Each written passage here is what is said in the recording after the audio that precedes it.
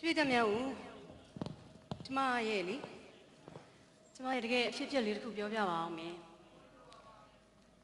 ကျမက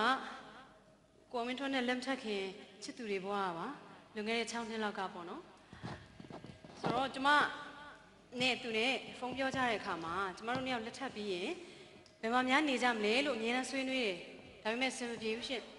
သူကလည်းသူခြေချပြီးတဲ့နေရာမှာပဲနေချင်တယ်လို့ကျမကလည်းမြန်မာပြည်မှာပဲနေချင်ပါတယ် အမြဲတမ်းအဲ့ဒီစကားနဲ့ပတ်သက်လို့ရှိရင်ကျမတို့အဆင်မပြေဖြစ်ပါတယ်အဲ့တော့ကျမကသူ့ကိုစိတ်ကောက်ပြီးတော့3ရက်လောက်ဖုန်းမကင်မဲနဲ့ကျမပြစ်ထားတယ်အဲနောက်တစ်ခါကျမဖုန်းကင်တဲ့အချိန်မှာကျမအဲ့ဒီအကြောင်းလုံးဝမဆွေးနွေးတော့ဘူးကျမဒီသချင်းလေးကိုကျမဆိုပြလိုက်တယ်အဲ့တော့ okay သူပြန်လာမယ်ဆိုပြီးမြန်မာပြည်ကိုသူပြန်ရောက်လာတာပါအရင်တော့ကျမအဲ့ဒီသချင်းကိုကျမတယောက်တည်းဆိုတာအခုတော့ကျမက true sun လေးဖြစ်အောင်ပြောင်းလဲလေးလေးဖြစ်အောင်ကျမဇုံတွဲလေးဆိုပေးပါမယ် နားဆင်ကြည့်ပါရှင်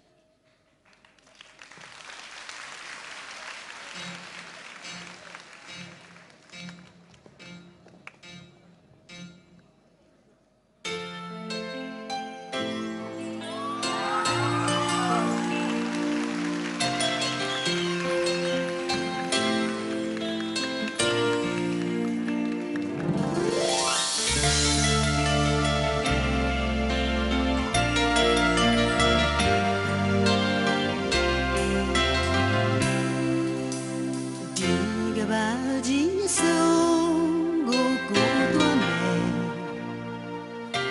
အချင်းနာအိမ်မဲတွေ့ကုန်သွားမှာဆိုရင်ရင်လေးယူနေသူရဲ့အပြုံးတွေကိုတန်တာကိုယ်တည်းရယာယီမိုးသာအောက် ကသူအပြုံး